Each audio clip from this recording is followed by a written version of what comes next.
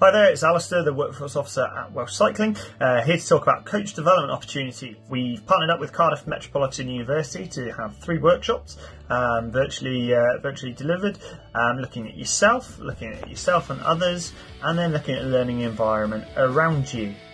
We've had the first workshop, and we're lucky that we've got Kylie, one of the delegates, to uh, give us his thoughts on it. If you would like to sign up or know more, get in touch and click the link massive thanks go to Welsh Cycling and Cardiff Met for their coaching workshop. It's fabulous and uh, actually a very enjoyable three hours on a Tuesday evening. It, um, for me, education is everything and learning more is what it's all about and, and trying to be the best coach you can be um, to help your riders really. Uh, there was loads of best practice, good examples. Uh, again, being uncomfortable, it kind of forces change. So questioning different values and different understandings of where beliefs come from, it, it was really good and Thank you massively to Welsh Cycling for putting it on. Really appreciate it.